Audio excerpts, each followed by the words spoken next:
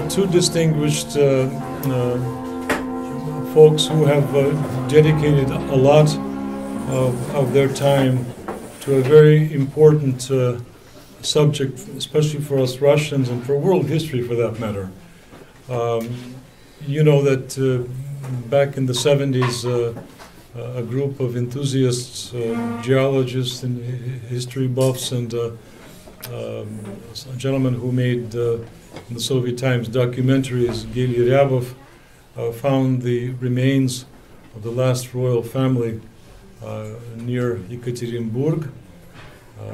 and my Matushka and I had the honor of meeting these people uh, back in the 80s when uh, this was not being publicized. We we went to Geli Ryabov's apartment. We had long conversations with him, and we kept up our our friendship. And uh, uh I was uh, uh, found worthy to be able to serve um, a Vesper service at the place where the relics were really found. ultimately, in any case, um, it was um, shown by various DNA experts in the world that these are indeed the uh, remains of the uh, royal family, uh, missing two, and they were found years later and also identified as um, belonging to the uh, children of the, of the last Russian uh, Tsar.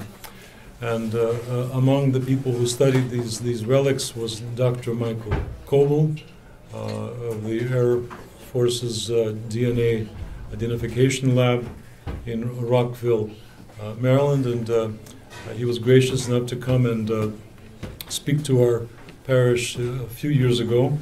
And as I mentioned just recently, unfortunately, he hasn't learned Russian since then, but we will forgive him because he's done a lot of good uh, for, for Russian history and uh, by, by participating and identifying uh, the DNA of the royal family. And also we have with us uh, Captain uh, Peter Sarandinaki, uh, whom we've known a long time. I married them, he and his wife 25 years ago in Nyack, New York. Um, we're actually relatives.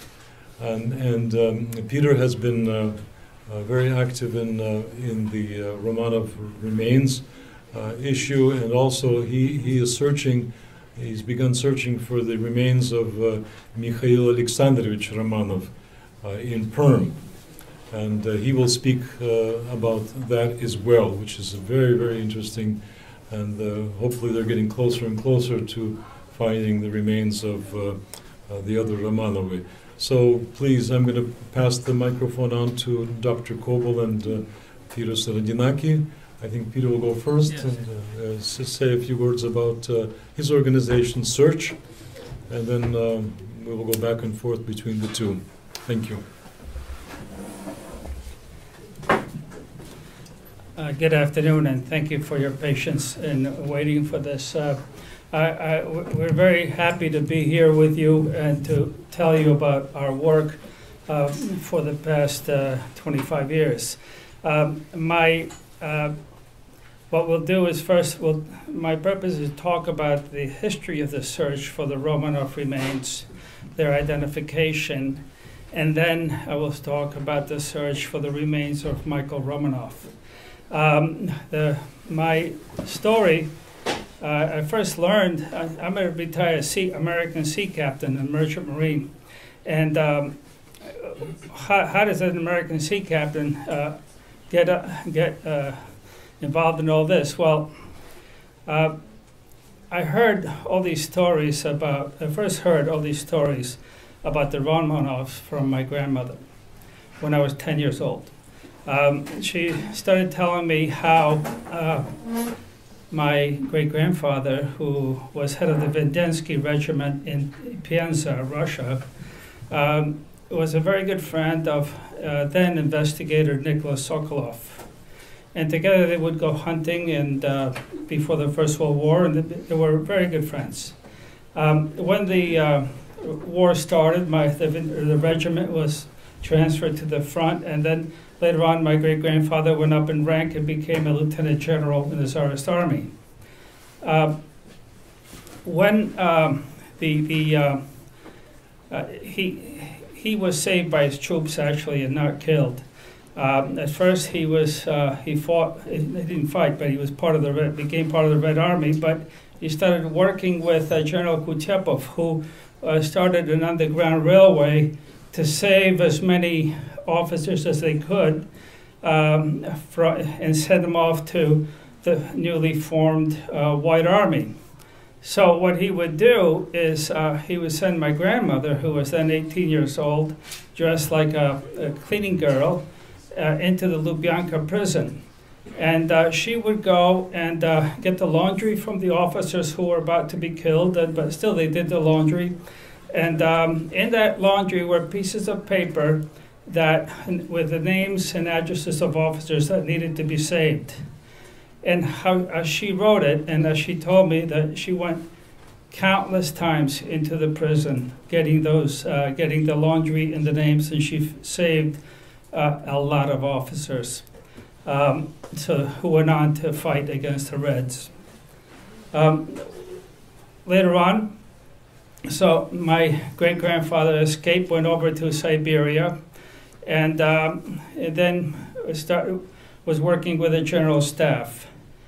Uh, his um, left his wife and and uh, and, and uh, two daughters in Piazza, and then they followed uh, escape by using the what they call the nuns route, going from monastery to monastery, and so forth. And my grand great grandfather gave my grandmother a Nagant pistol, and he said, "Use six bullets, and the last one's for yourself."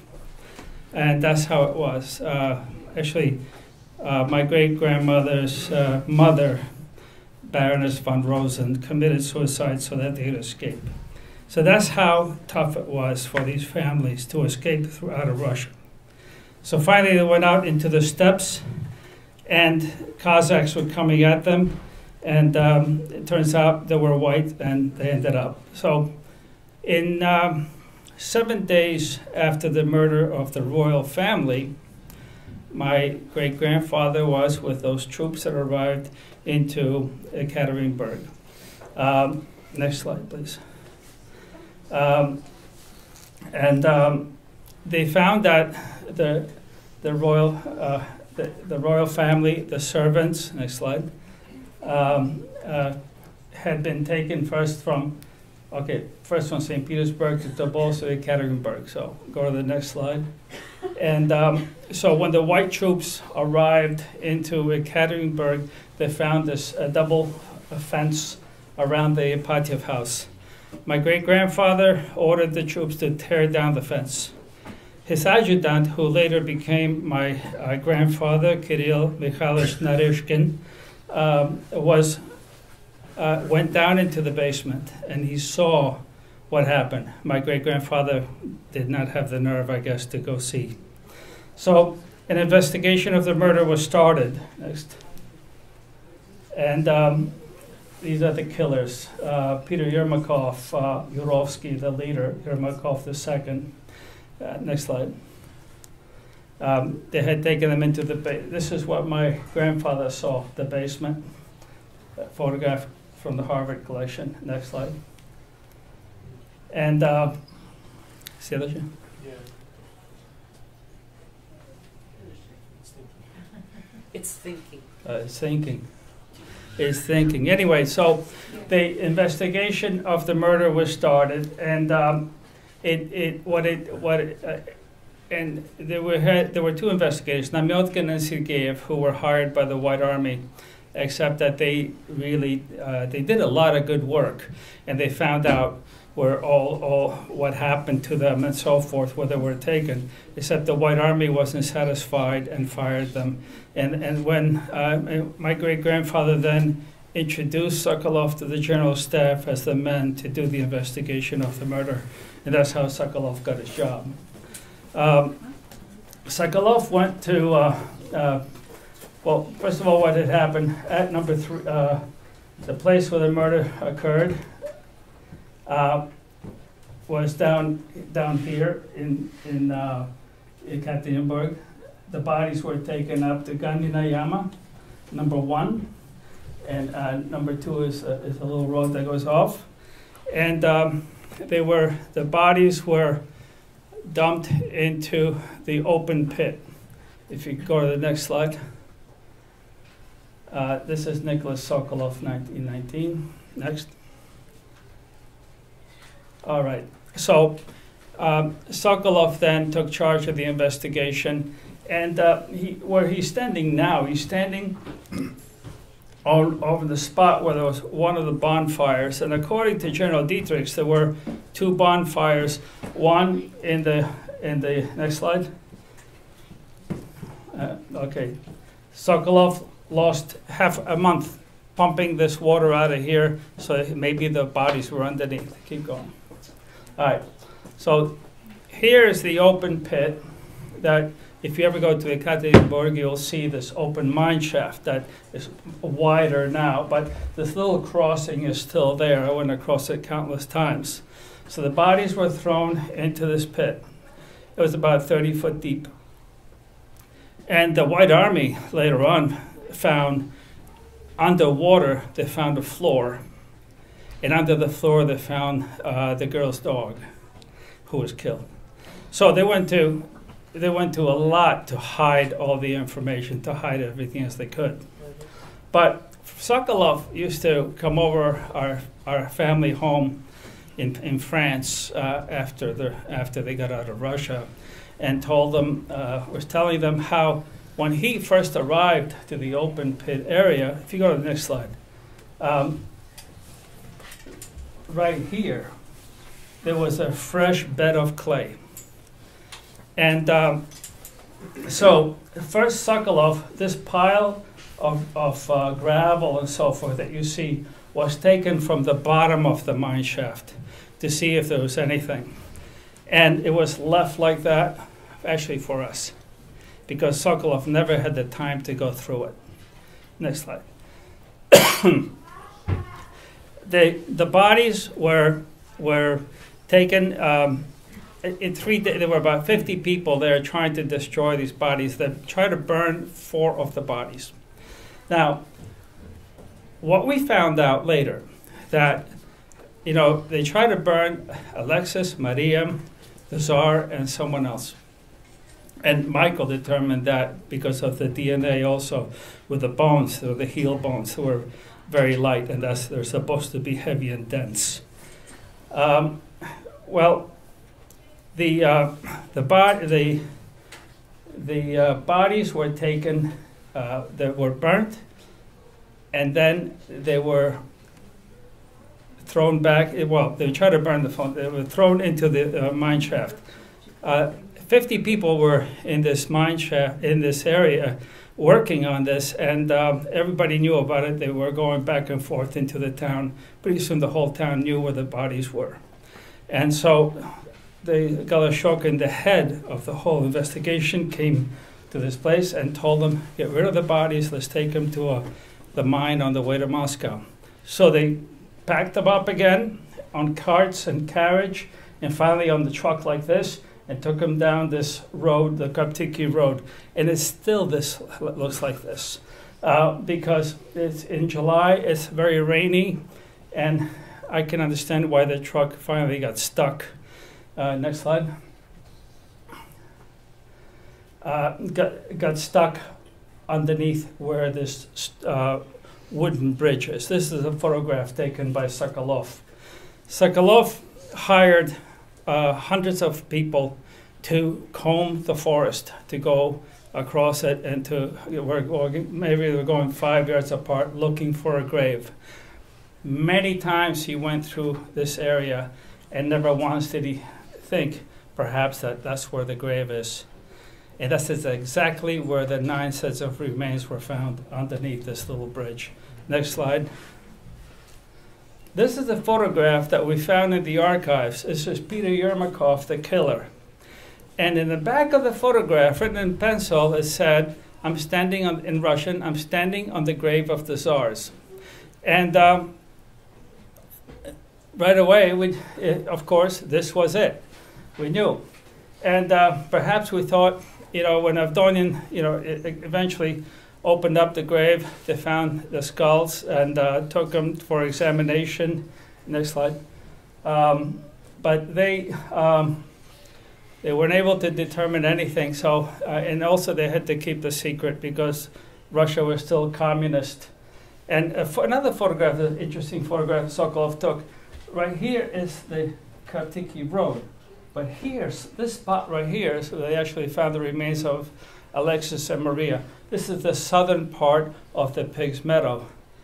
When we search this area, our third search, and um, I went back to this area here because we searched the whole northern area.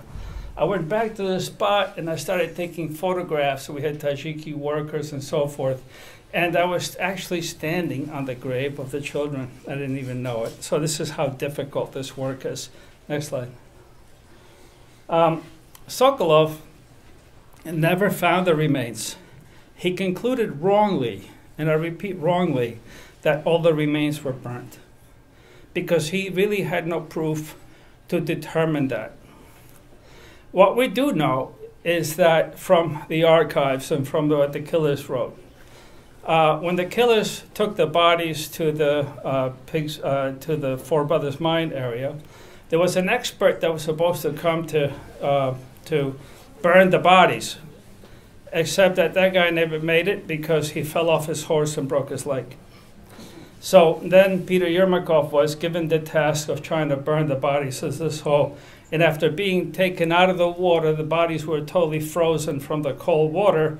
They, they weren't even burning, so, so they, they just gave up on that. Um, Sokolov finally made it. Uh, my great grandfather was transferred to Vladivostok, where he became the military governor of the whole of Mur region.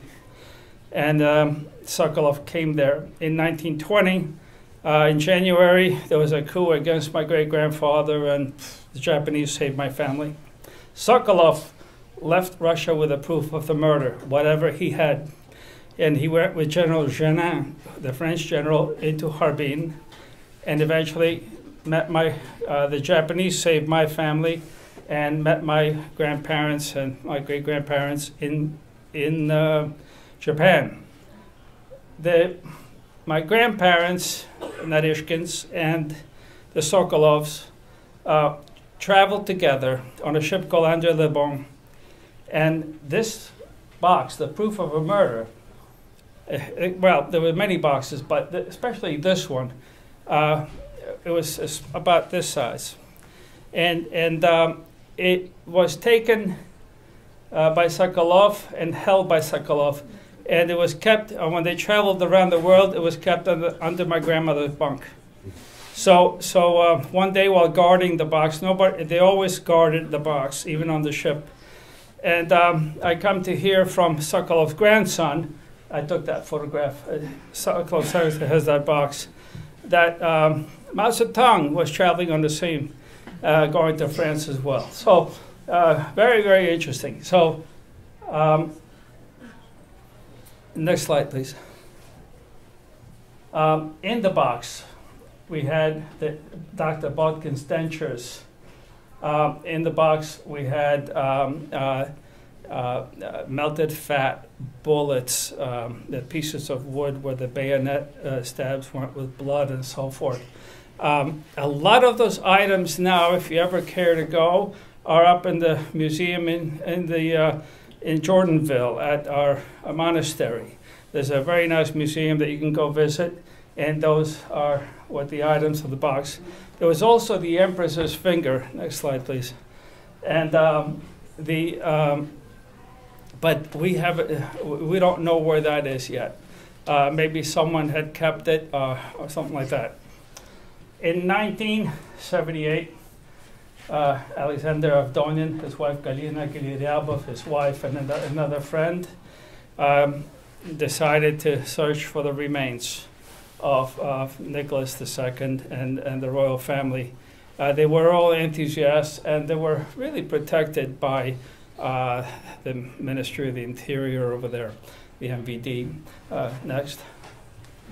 And um, so they opened up the grave. The, the, the, they found the bridge. They climbed up. The bridge, of course, was covered with dirt, but they climbed up on a tree and they, they, they were able to see the, the you know, the, the, the, uh, the silhouette of the, of the bridge, and they opened it up and they found three skulls. Uh, two skulls were taken to Moscow for, uh, for them to check out, and then, and then, um, and then, and then were brought back and, and they were put back in the grave, and until, and decided to keep the secret until Russia changed. And in 1991, uh, Dr. Geli Ryabov uh, uh, told the world what they found.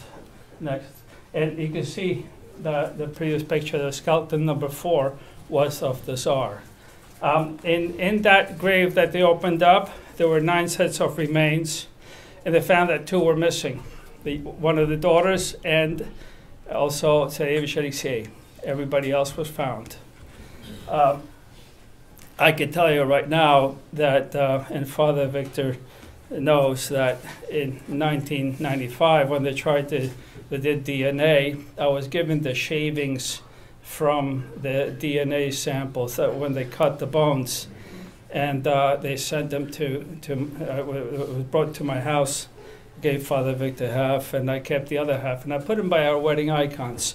It was around midnight. I went back into the kitchen, and uh, my wife Masha was also the witness. And then, I, and an hour later, I went back into the bedroom, and the whole bedroom smelled like roses. And when I went to that piece of, there's a piece of paper with uh, shavings or like uh, dust of, of from the bones, and and uh, but from from from the little shavings from Nicholas II and from Dr. Botkin, the the aroma of roses was so strong that it smelled up the whole room, and that that was just incredible and I, I, gave it to a priest. Uh, so I felt I, I didn't feel that I was uh, worthy to keep something like that. So next. And this is how the remains, by the way, that was how the remains lay for seven years, that morgue. Now, my friend Dr. Sergei Nikitin started doing the reconst- facial reconstruction over the skulls. Dr. Botkin Demidova, next slide, please. Uh, Olga Nikolai, keep going. Tatiana, Anastasia. And next slide, Trupp Alexandra. Next. All right. So we had a, and, I asked uh, Dr. Nikitin how he determined that they had Anastasia because the American scientist says that you have might have the wrong daughter. You, Anastasia is missing and you have Maria. Well, it's because he did also photo superimposition this is Nikitin's reconstruction of. Of Anastasia. This is her uh, this is her photograph. This is Anastasia's reconstruction. This is a photograph of Maria over here, and um, so as you can see, with uh, certain points that he measured, and the points match exactly, and the shape of the head matches exactly. And uh, also, when we compare to Maria, the points do not match up. Only one matches, but the shape of the head does not match up. There were other things involved too that, uh, you know, the, the uh, forensic uh, uh, things that were told, but uh, basically the Russians were convinced that they had Anastasia Maria was missing. And that became a bone of contention at one point when I took American scientists to Russia in, in February 1998, before the burial of the royal family, um, uh, took uh, Dr. Anthony Falsetti from the University of Florida, Gainesville, and Dr. Diane France from Colorado State University, both director of Human ID Labs, both forensic anthropologists. And they determined, uh, they also saw by, like they also agreed with Dr. William Maples of Florida also that that the Russians had the wrong daughter. But uh, so then um, I went I went to, back to the Russians and I said, who, I asked them who determined. I didn't know that Nikitin had done this. Who determined that you had uh, Anastasia? And they all point at Nikitin. I said, well, the Americans will present their paper in front of the Academy of Forensic Science in the year 2000, saying that you're wrong. So Nikitin came to America, and presented his paper in front of the Academy of American Academy of Forensic Science, uh, proving his case that um, that indeed that uh, Maria was missing. And uh, my whole thing was that we'll determine really that when we found, if and when we find the next set of remains. So, next, please.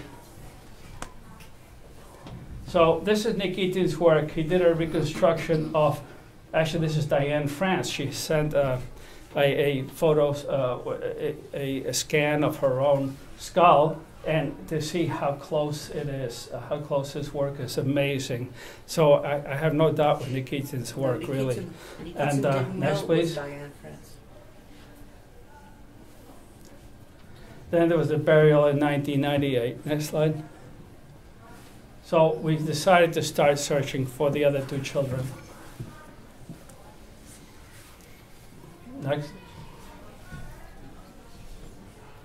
So when we came, this is what we found. They had cleared the forest area, and uh, and um, as you can see, um, the the on the right side behind the church put up a cross there, and it said that all the remains were burnt. I said they're wrong. You know, we'll find the other. The, but and behind already the open pit, Sokolov already had opened it up more. Next slide, please.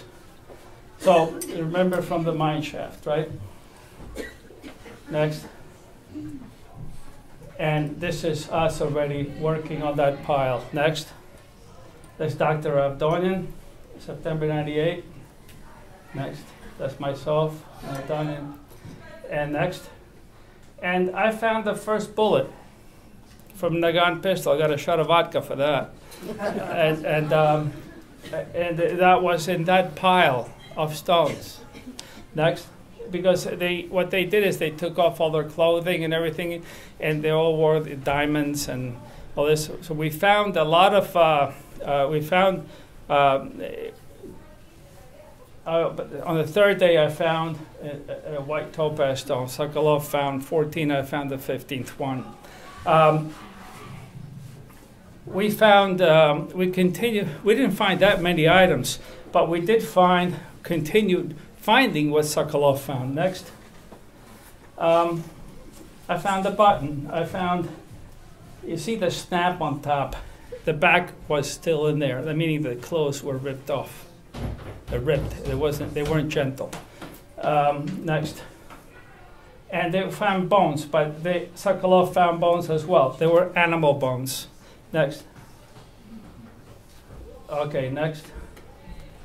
So in 1998, uh, we're still searching. We also found, interesting, red wax in the mine shaft. Alexei carried red wax in his pocket, and that was proof to us, and nails he carried it too, uh, but he carried red wax. Uh, he played with it, and that was proof to us that he was there. Next. We did uh, seismic profiling of the whole area. And electromagnetic, uh, next electromagnetic studies as well, finding anomalies. We checked every single one of them out, and nothing, nothing panned out. Next, it started to snow, so then we had to next. We moved the whole pile of stones, and the pile of stones also uh, had um, had uh, uh, call it charcoal and all that in there. But next. Such a, such a beautiful place so many horrible things happened. Next. And the second search was in June 1999. Next. So everything, was, the flowers came back, everything came back. And what we're looking for is also the bonfires. Because what the killers wrote, Yurovsky, was that after they, the, the, the two children, after they burned the bodies of those two children, they buried them next to a bonfire and then they they they covered that up and then built a bonfire on top of that. And so we were looking for signs of the bonfire. And the only and that's one of the reasons we started working at the Four Brothers Mine area because there were um, on the General Dietrich's map of the whole area, two X's signified bonfires, and that's what that's what we found. And we actually I did it by compass and steps, like they said, you know, and I found, we found those two bonfires. Next. So we're looking, next. So we started searching for uh, these, these bonfires. Next. And we found traces of charcoal everywhere that was spread out. Next. And here was one of the fires. This was Sokolov, you saw in the first picture, Sokolov standing. This is the exact spot where he was standing. There was a bonfire underneath. We found nothing in the, because he already had gone through it. Also, um, right now there's a sidewalk over it, so, you know, they don't know, they didn't know that. They just put a sidewalk right over it. It was, so this was destroyed instead of being kept. Go ahead. Um, one thing is, remember I told you about the fresh bed of, of clay? We dug down about 20 centimeters. We found a site of a huge bonfire about the size of this table. Um, the the, the uh, clay was already brick, and we found this melted neck of a bottle. The fire was so hot, and that's where they burned the bodies. And and then we saw that they had swept all the coal into the uh, mine shaft. There was coal never disappears, and uh, so this is what we found. The earth doesn't lie. Go, keep going. And this is what the Four Brothers mine area looks now. Actually, it's fancier, but this is the mine shaft, and people go. It's a holy ground. It's a holy place. Okay, next. The third search was in July 2004. Keep going. And we went to the Pig's Meadow. This is the actual grave where the bridge was that you saw that photograph. And uh, people come and pray. It's a very quiet place, but the church, uh, uh, the local, the, the church, uh, they used to go on their religious processions, uh, through this area here. But because they don't believe that these are the remains, they built a separate road going to the Four Brothers Mine area. So, all right, next. So I can, we're comparing, th- this is the whole northern area of, the, so the truck came down this way and that's where it got stuck. Okay, next. So we hired Tajikistani workers to search out the whole area, plus we had, next. We're, we had a radar, that's all we had at the time. So we're searching the area for radar, looking for signs of any digging or something like that. Keep going. Um, we hired equipment to level out the ground so the radar could work better, but uh, you know, nothing. You know, keep going. And uh, whenever we found something, uh, we like a signal like this, that means somebody had dug here. We would have to open it up again. Next. So we searched, and uh, nothing was found here. Next. And the final search was in July 2007. That, that wasn't done by me. It was done by a, a, um, a local uh, group of uh, uh, Russian army uh, who, who um, uh, a club who um, go to battlefields to try to find remains. And um, so this is the northern area over here that we searched out, and this was left over here to do. This is what I wanted to do in 2007, but I didn't get a chance. They did, in this spot right here, go ahead, they found the grave of Alexei and Maria. Next. And that's all that was found from two bodies. That is all. And you notice this curve over here, that's from bullet hole. And um, but you could, but scientists determined that in these they have a very young male and a very young female. Keep going. Okay, keep going. Okay, keep going. So nine bodies were found, and um, 70 meters away from from the set from the other set. Keep going. And um, so what I did then is when Nikitin called me, I I um, I I decided I called up Dr. Um, uh, Falsetti, University of Florida, who wanted to go and study these remains as an anthropologist. And, in speaking to him, I said, "By the way, do you know the the head of the U.S. Army DNA lab?" He says, uh, "Yeah, I do. His name is Finelli." He says, uh, "I said." Boy, I would love to get him to do the DNA study of these things. Maybe we could organize it. You know, I could organize it. And um, I spoke to the Russians, Vladimir Solovyov, and uh, uh, Dr. Nikolai Nevolin from uh, Ekaterinburg, and they all, yeah, they all agreed, let's do it, let's do the DNA. So that's when I wrote, um, actually Falsetti spoke to Finelli, and, uh, and two Italian boys, you know, but uh, very fine people, believe me, fine people. And uh, Colonel, uh, Colonel uh, Finelli decided to come on board with the U.S. Army DNA lab, and hence uh, Dr. Michael Coble, please. After uh, Dr. Coble finishes, I will continue and I'll talk to you about if, uh, let me know when, when you want to take a break, uh, Father, if you want to take a break. But um, after, I'll talk about our search for um, uh, Alex, uh, uh, Mikhail Alexandrovich Romanov. Dr. Go. Okay. Okay, thank you very much. Thank you, Peter. And uh, again, I uh, personally would like to apologize for the late start. Um, the technology can be a bit of a problem. And uh,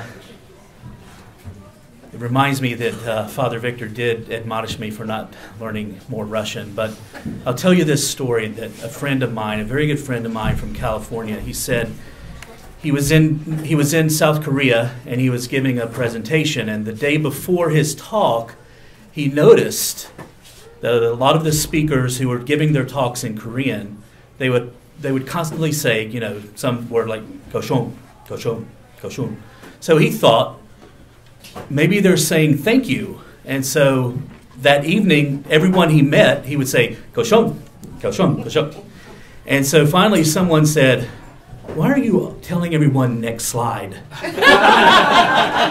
so I'm afraid what Russian I may speak may not mean much. So, okay.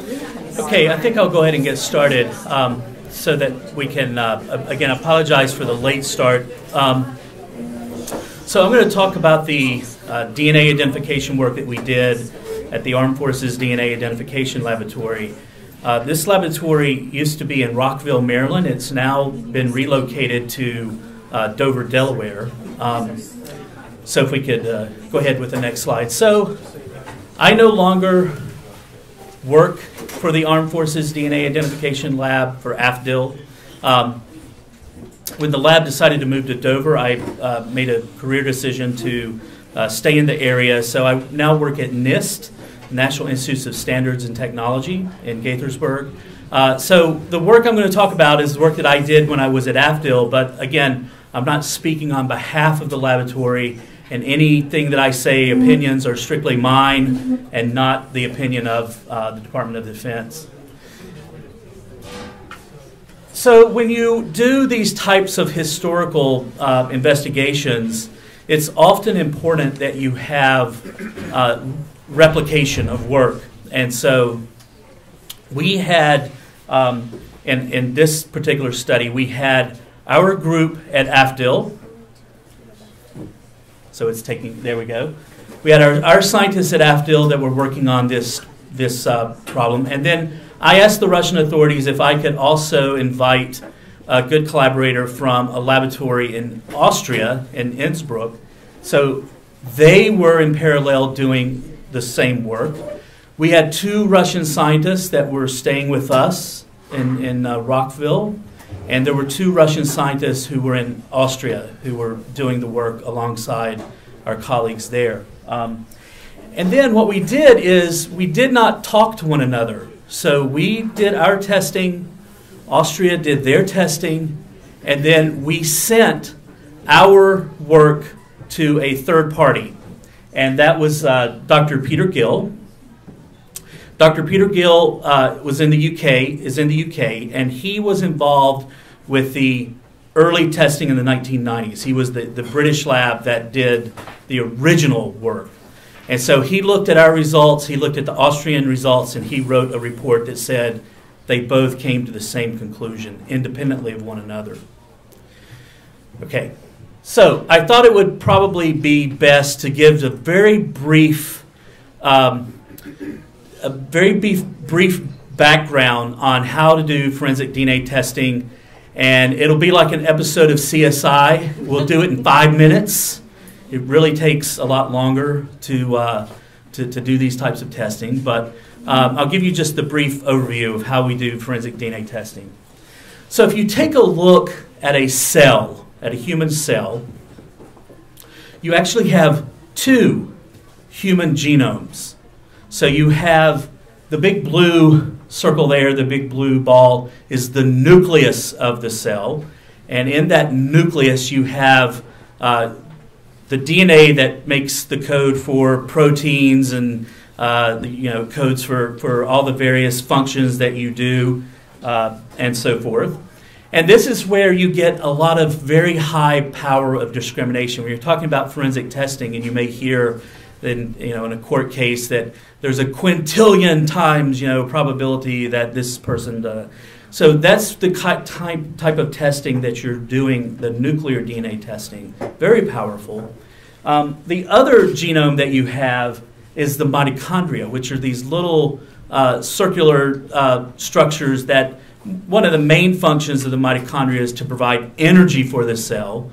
And interestingly, they have their own DNA. It's DNA that's separate from the nucleus. So you actually have two types of DNA in your cell. You have the nuclear DNA that you inherit from your mother and father. You get half of your DNA from your mom and half from your dad. Um, three billion bases of information. And then you have the mitochondria, which are actually uh, the ge- mitochondrial genome is quite small 16,000 base pairs. But the advantage that mitochondria DNA gives to the forensic scientist is that when you have a very degraded sample, you have a bone sample that's been in the ground for 50, 60, hundreds, uh, they're getting DNA from Neanderthals, so from, from thousands and hundreds of thousands of years then the mitochondrial DNA, because you have so many mitochondria, your, your cells need a lot of energy, then it can provide you with some information. So let's talk about the nuclear STR testing that we did. All right, so if you take a look in the nuclear genome, you will find certain regions where you have repetitive DNA. And so in this case, we're looking at a certain region of the chromosome. Again, you have two chromosomes, one from your mother and one from your father. And in this certain region, there's this repeat. So you have the nucleotide bases, the four bases A, G, C, T that make up DNA. And you have in this one particular region this repeat G, A, T, A. Four bases that repeat side by side by side. So GATA, GATA, GATA, GATA, GATA. So on the bottom, the maternal chromosome, you have six of these repeats. And the chromosome you get from your father, you may have eight of these repeats. So the number of repeats can be very variable in the population. And so what we do is we make use of this variation in forensics, and we, we have to first amplify this up. So there's this process called PCR, the polymerase chain reaction. It's kind of like a Xerox machine where you take one copy of a document, you put it on there, and you make many thousands of documents from this. So um, we notice that we're uh, uh, on this. Uh, the way this machinery works is that we have these little uh, short fragments of DNA that have this red dot attached to it. Uh, these are called primers, and that red dot is a fluorescent dye. And so we amplify, we make copies and so when you go through this process of PCR, if you hit the next uh, and hit it again, you make millions and millions and millions of copies of these fragments. Some of them have six repeats, some of them have eight repeats, and they all have this little red fluorescent dye attached to it. So we've been able to label these fragments with this red dye. So in the next step, we pass these little uh, labeled fragments through this machine called a capillary electrophoresis.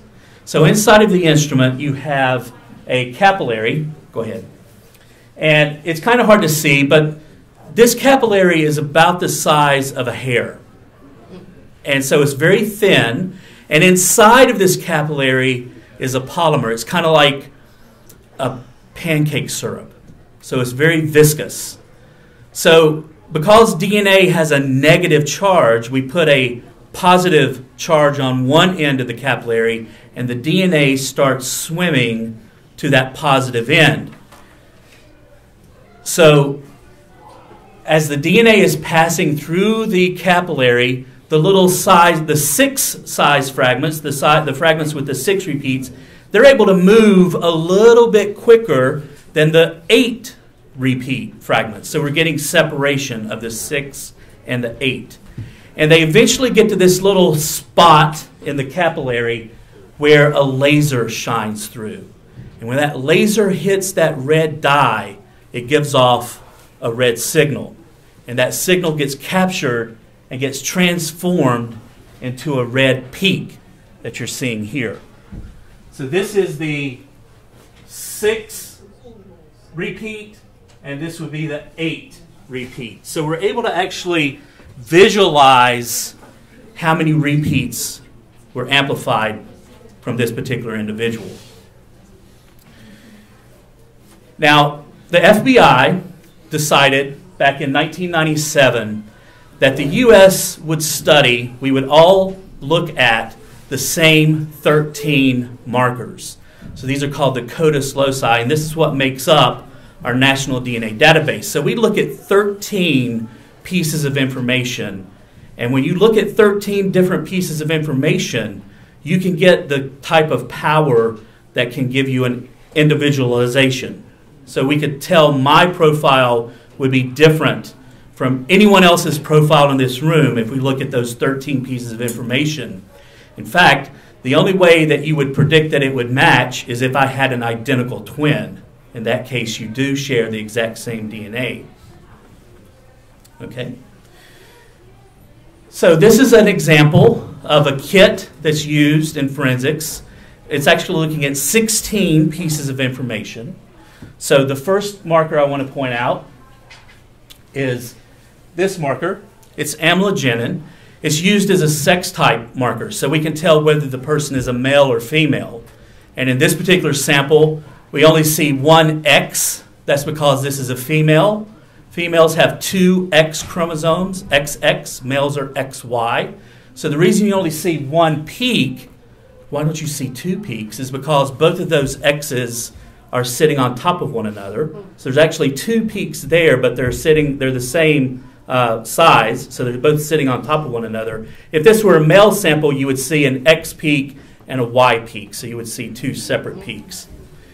And then we have 15 pieces of information the 13 CODIS loci that we all test in the US, and then there are two markers that are unique to this kit. So there are 15 total markers. Now, what's the probability that I would find someone else in the world who has this particular type? 1 in 129 quadrillion. So that's the basically that's saying it's the same probability of taking 129 quadrillion white marbles and putting in one red marble and then sticking your hand in there and picking out the one red. That's about the same probability uh, for this particular profile. Now, this is actually my daughter's profile. Um, my daughter Sophia, who my wife and I adopted Sophia from Russia, and her, her little brother Matthew. So whenever Sophia asks me, Dad, am I special? I'm like, yeah, 129 quadrillion. I'd say that's pretty special. But she doesn't quite get that. She doesn't get my jokes most of the time. Actually, she does most of the time. So, now we have the nuclear DNA, but there's also, again, uh, a couple of things I want to point out. Go ahead. Those are the autosomes, those are the nuclear DNA that we're using for STRs that we do in this type of testing. We also have the sex chromosomes. We have XX again, if you're female, two X's, males XY. And then there's also outside of the nucleus, in the cytoplasm of the cell, we have mitochondria, which have their own genome, the mitochondrial DNA. And there's a little bit of a relationship between mitochondrial DNA and the Y chromosome because of the way they are inherited. So, if we take a look at your DNA and we take a look at your great grandparents, as Peter mentioned, his great uh, grandfather, you are about one eighth of your all of your great grandparents. So you have eight great grandparents, and you are about one eighth of all of your great grandparents. And we can keep going back, you know, one sixteenth your great great grandparents and so forth. We can keep going back in time, and you can figure out what percentage of your family uh, you inherited from all of your relatives, uh, uh immediate relatives in your family tree.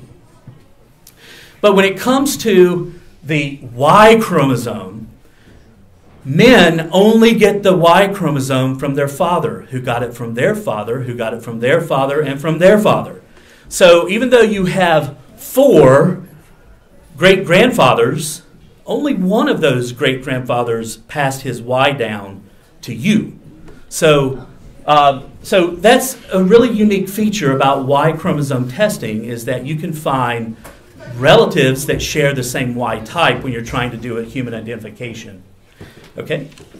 So this is a, uh, their, their STRs, or these short tandem repeats, are also on the Y chromosome.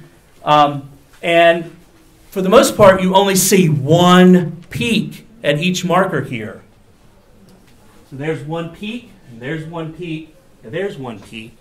And that's because you men only have one Y chromosome, so you don't have two so you, you don't see two peaks like you do with the nuclear DNA, where you have your mother and your father have given you DNA. Now, YSTR testing has been used a lot in forensics um, and, and a lot of historical cases, like the, the case of uh, Hemings, who um, uh, Eston Hemings' mother was Sally Hemings, uh, who was a slave of Thomas Jefferson. And um, so one of the descendants of Eston Hemings uh, said, You know, I've been told that uh, my father was, my, my great great great uh, grandfather was Thomas Jefferson, and I'd like to go to this party that they have, the Jefferson family has every year in Charlottesville. I'd like to come. And they said, hmm, No, we don't, we don't think, uh, we don't think that's right. I, don't think you actually are. And so they said, Well, let's do this Y testing. And when they did, uh, so if you take a look at, uh, so I have to say, you know, Jefferson had, uh, I think he had one daughter or two daughters. He didn't have any sons that we know of. And so uh, if you look at other relatives, they had the same Y chromosome as Eston Hemings. And it, it's a really rare Y chromosome. So it's not like there were a lot of these. So now we can't say with definitive proof that Jefferson, Thomas Jefferson, was the father um, of, of Eston Hemings, but uh, we can say that someone with a Jeffersonian Y chromosome was the father of Eston Hemings. So there's a limit to how much real identification you can do with Ys. It's really powerful for uh, just for saying it's definitely not him. So, like for example, Sally Hemings had another son, Thomas Woodson, and he had a different Y chromosome. So we can conclusively say that was not he was not fathered by a Jeffersonian chromosome. Now, on the other side of the coin is the mitochondrial DNA, and it's kind of like the Y in that the mitochondria is only passed from mother to daughter. And so, all of the women in here got your mitochondria from your mother, and you'll pass it on to any daughters that you have. Now, men also have mitochondria. So, you know, the mitochondria are very important for functioning. We all have mitochondria, but when it comes to passing it on to the next generation, only the females will pass their mitochondria onto the next generation. So, again, it can be quite useful.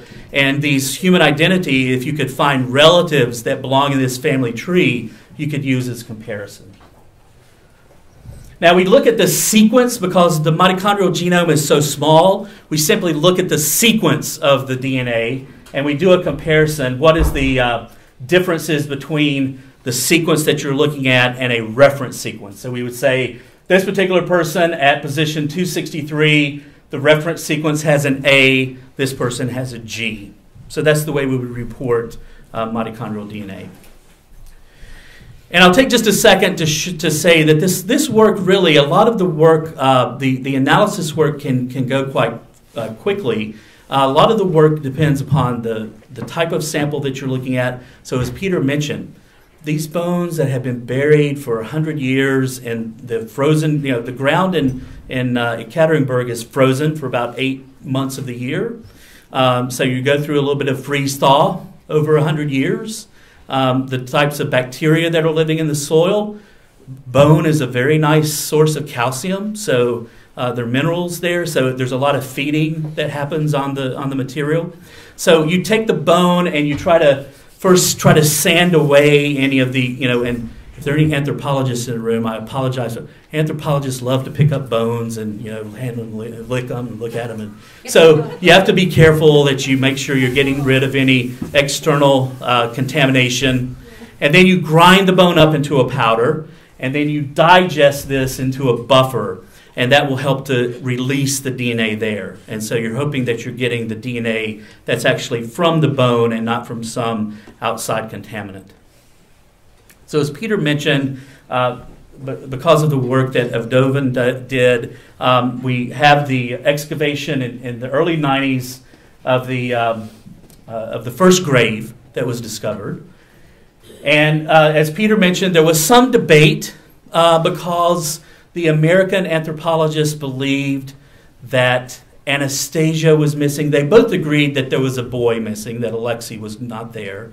But the, the other daughter that was missing, the American experts believed that um, it was Anastasia, and the Russians believed that it was Maria. And so, based upon the work that the Russians did, the, the facial reconstruction, um, we'll, we'll uh, for this talk, we'll move forward and say yes, that it was Maria that was missing. So, go ahead. So, I'll talk very briefly about what Peter Gill did in 1991. Uh, and so he published his paper in 1994 in Nature Genetics.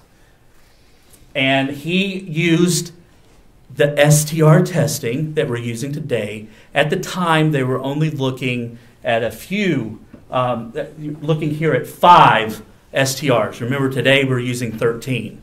And we're getting ready to move in the US to 20 uh, starting in 2017. So we're getting ready to look at more information. But at the time, there were only five STRs that were tested. And what Peter Gill could show is he could determine there was uh, some of these skeletons look like they're related.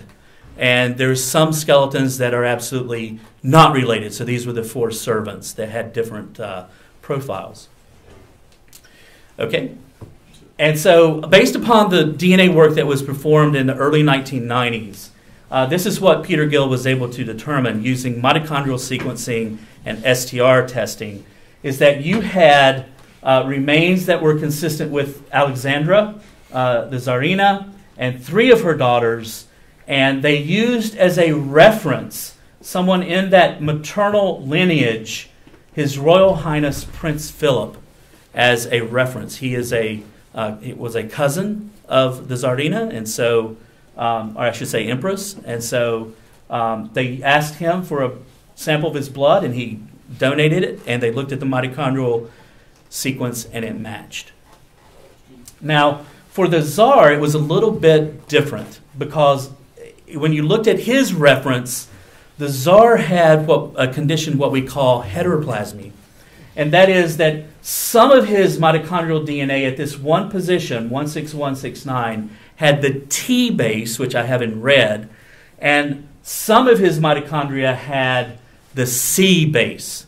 And so when you put those two together, one more time, you get in the sequence what looks like a mixture.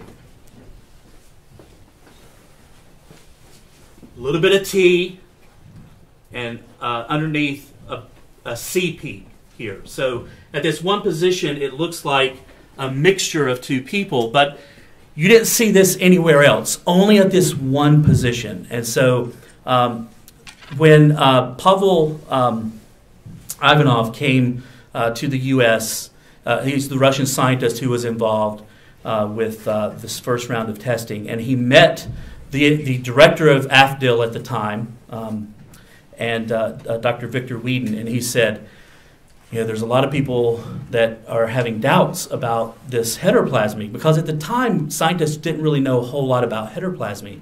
So he said, uh, "Can I come to AFDIL and we do some more testing?"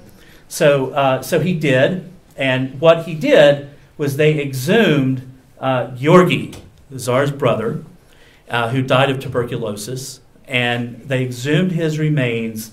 And when you looked at the mitochondrial DNA of the Tsar and Georgi, you see the same heteroplasmy in the same position, but in different ratios. So, this is where the Armed Forces DNA Lab first became involved, and we were able to show that, that this was not such a rare event, that it did happen, especially in this, uh, in this lineage. Okay. Now, despite the overwhelming evidence, there were a lot of concerns by people who were trying to discount the DNA testing. They were saying, well, you know, this heteroplasmy, we're not really sure what that's about. Um, at the time, the mitochondrial DNA databases were quite small, just a few hundred people. So the statistics were not that overwhelming, but they were still substantial. And STRs were in their infancy. So fast forward now, 2007, as Peter mentioned, uh, it, the news came out that we think we found the, um, the, the, two missing children. And that's a, a picture that I took of uh, Peter with the, uh, the men who were, the, the men standing beside of Peter were involved with the actual discovery. And uh, this is a local um, uh, archaeologist who, was, who did the dig, who actually did the excavation. As Peter mentioned, this is pretty much what we had. These were the largest bones there. There were 44 bones or bone fragments, and I think there were of those 40. I think there were three teeth um, uh, there. Now, if you think about it, you have over 200 bones in your body, and there are two people here. So, out of over 400 bones, you have less than 40 bones um, fragments that were still there. So much of that material is gone, has been burned, or has disintegrated over time. So there were only a few bones that were really sufficient for DNA testing. And so that was the question Are these the remains of the two missing children? So we have the sequence, the mitochondrial sequence from Peter Gill. Okay? Go ahead. This is a, uh, a bone uh, from a leg. It's a, from a, a fragment of the leg. Um, uh, one thing I will mention um, about this is that these are only portion of a leg bone. So the anthropologists didn't have the luxury of doing these measurements to determine the height, and maybe then they could definitively prove or, or at least suggest that this was, you know, Alexander, uh, uh, uh Anastasia or Maria. So the anthropology was quite limited and the, the remains that were recovered. Here's another fragment from a right femur, from a right leg bone, a thigh bone that uh, was tested. Um, and the sequence we got was the same that Peter Gill generated back in the 1990s. And I remember when this happened, um, uh, we, we had Alexis uh, Zakharin was our translator. He stayed with us the entire time because the two Russian scientists spoke no English, uh, very little English. And uh, he was there with us, and when this sequence came up on the computer, everyone started crying. I mean, even though you know, we had all of this, you know, we had all of this proof. I mean, we had all of this information that it was them, that was the two missing children. But once we saw this sequence, um, everyone just broke down and was crying because it really meant a lot that we finally found the two missing children. So, of all the fragments that we tested that we could get DNA from, again, we tested 10 pieces of 10 bones. Uh, the bones that we could get DNA from, they all had the same sequence. All right, but that doesn't tell you whether that was from Alexei or Maria. It just tells you that you know, of the bones that were recovered, we had pretty good idea that one was from a female, one was from a male, based upon the anthropology. This time, we didn't have a database of two or three hundred. We had a database of twenty-one thousand. We've never seen this sequence before, so it's a unique sequence, again, which means that it's pretty rare. Okay. We also did STR testing, and so we took um, the fragment from uh, what's believed to be a male, and we see the two peaks, X and Y, which means that's from a male, and we see the one X peak here from a female. And the one thing that you notice when you look across this profile, I'm only showing you here uh, three markers the sex marker and then two other STR markers. When you look at the DNA profiles, you notice that, go ahead, there's a lot of sharing going along. The one peak here the brother has, the sister has, or the, the putative sister has also that peak. So that suggests that these two individuals may be brother and sister. So we did this statistical test. We generated the profile of the, of the female and the male. And we did this statistical test that's done um, for paternity testing and, and kinship testing. And we simply ask two questions. This is called a likelihood ratio. We simply ask two questions. Calculate the statistics as if these two individuals here are in fact brother and sister, and then calculate the statistics as if these two people were two people I grab at random in the population that are not related. So we have two different statistics that we calculate, and then we take the ratio, which one makes most sense, which one explains the data better. Is it more uh, information that they are related or that they're not related?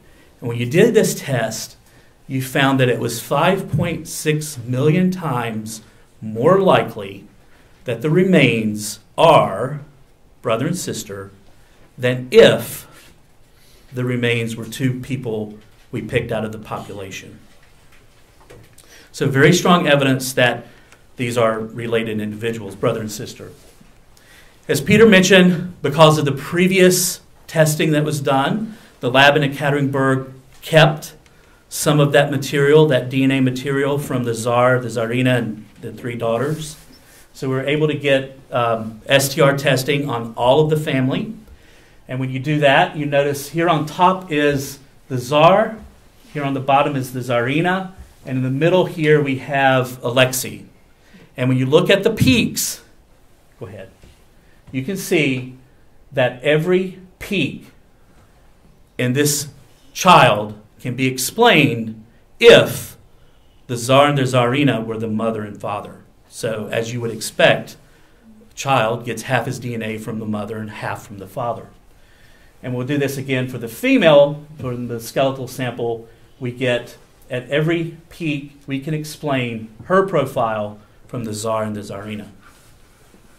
So we developed profiles for everyone, and when we did that uh, likelihood ratio test, when we asked the question, these two individuals, the boy and the girl, do they belong into this family tree with the Tsar, the Tsarina, and the three sisters? Well, for the girl, her probability was 4.3 trillion, and for Alexei, it was 80 trillion. So the the results are 4.6 trillion to 80 trillion times more likely if these two individuals are in, in, this family tree than if there were just two people at random in the population that would fit into this pedigree. So, since we did have um, Alexei and we did have the Tsar, we decided to do Y chromosome testing back in the early 90s. There was no YSTR testing at that time. So when you look at the profile from the Tsar, which is on top, or I'm sorry, from Alexei and from the Tsar, they match at all. We look at 17 markers. They all matched exactly at all 17. And then as a relative, we used uh, Andrew Romanoff from uh, California. He's a cousin of both uh, Nicholas and Alexei. And when you look at his profile, he matches it all 17. So we had a, a perfect match between um, a living relative and the remains from uh, Nicholas and Alexei. As far as the uh, rarity, how often do you see this? Well, in 20,000, a database of 20,000 YSTR types, we haven't seen this, this uh, haplotype before. So it's quite rare.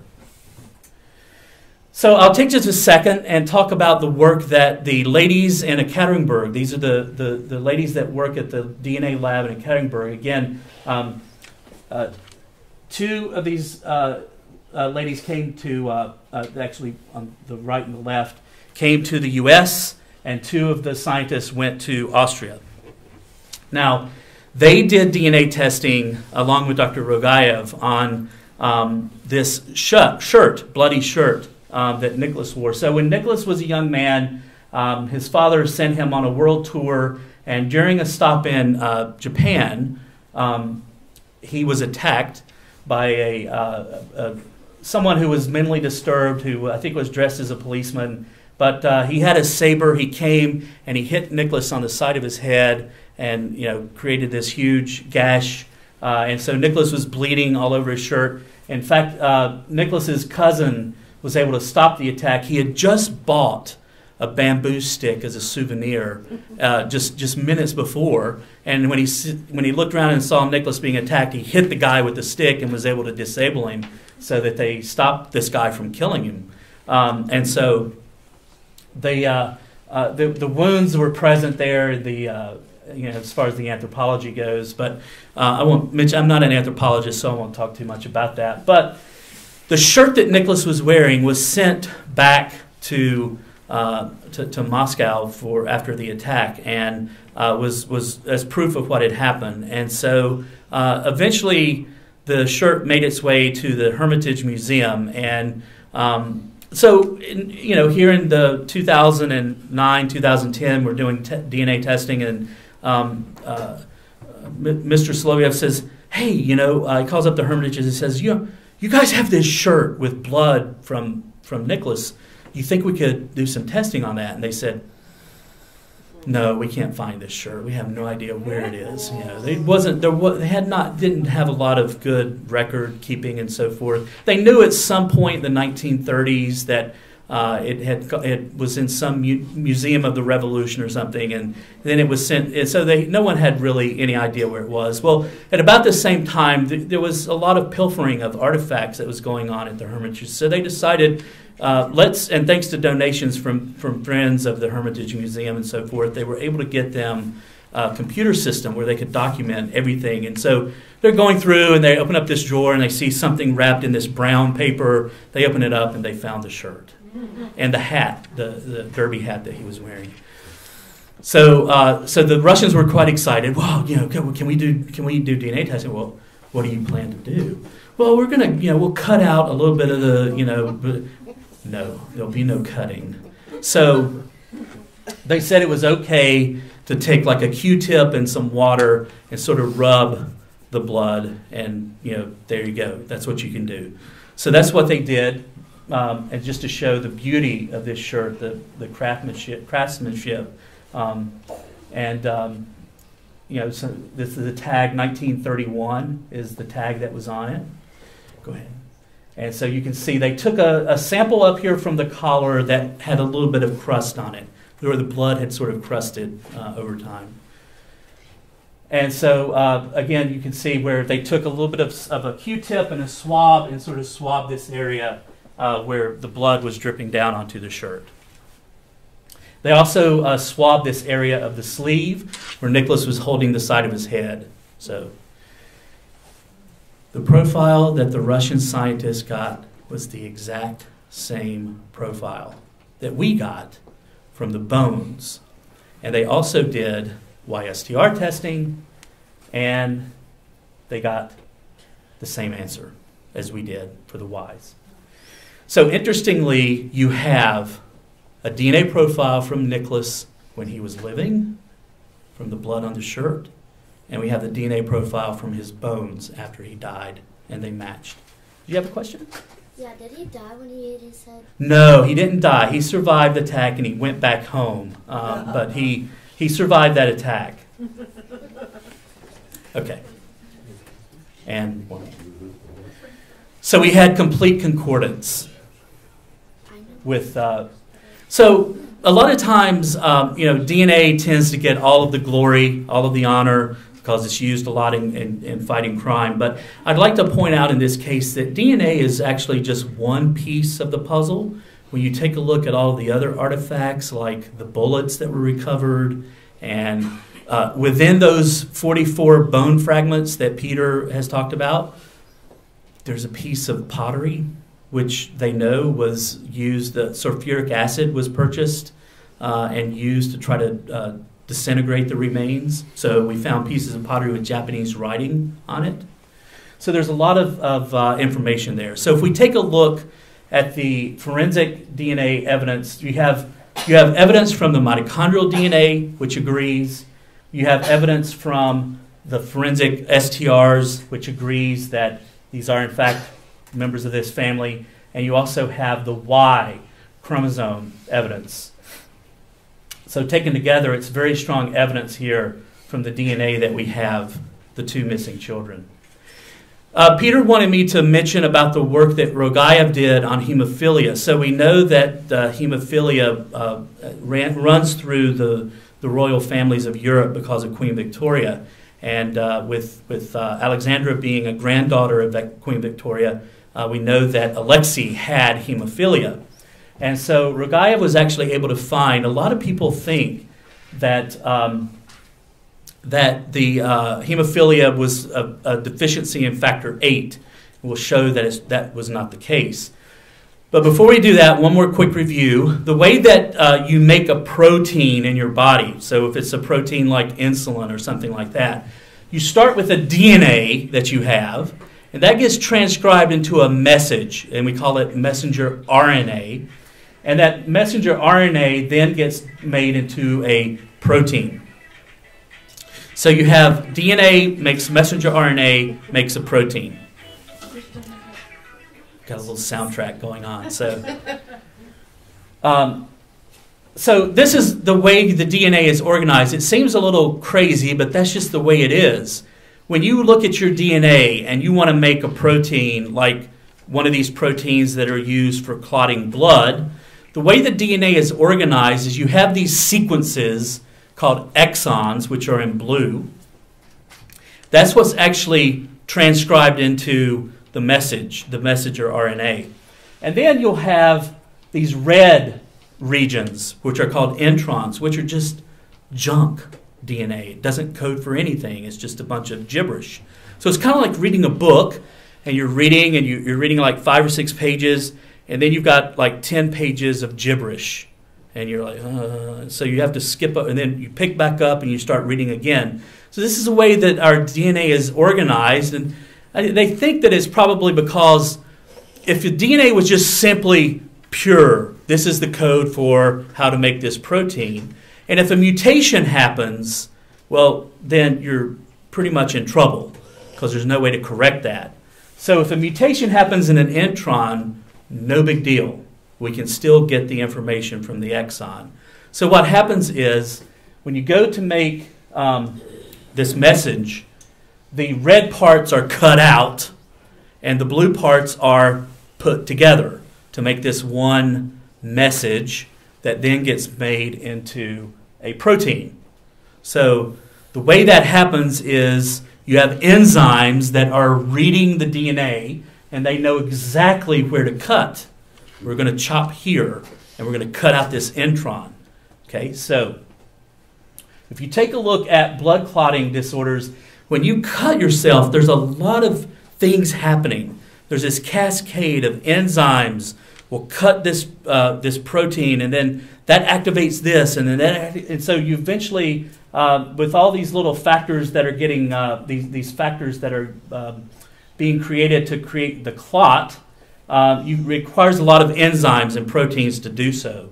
So, one way that you can get hemophilia is if you are missing or if you have some issue with factor eight, which is one of the proteins in this process. The other way is if you have a deficiency in factor 9. So, if you, if you knock out either one of these, then the pathway to making a clot is broken. And so you have issues. When you cut yourself, you can't stop the bleeding, or not very efficiently. So what they found was that when you look at here in this red, the red here represents all of the exons that are necessary for making factor IX, which is again one of these protein products. And what they what Rogaev found was that there was a mutation at this point here in the fourth exon for making factor 9. So basically, what happened is instead of having the normal AAG, which is what the enzyme recognizes AAG, cut here, okay? Instead of it being an AAG, Alexei had an AGA. So the, the mutation occurred, and that the consequence of that is that the enzyme could not cut that exon from the intron. So, the next slide, what you get basically is this no cutting, you produce a protein that has this both the exon and intron, and then the rest is good. But because you have all of this gibberish junk, when it comes time to make that protein, you don't make a proper protein. It, it makes a non functional protein, so you can't clot. So that was the problem that Alexei had. So Rogaev was able to discover this, and he found that uh, not only was it present in the Tsarina, she was a carrier. Uh, so usually females are protected because they have two X chromosomes. So if one copy of the gene is bad, then females have a backup copy, have another X.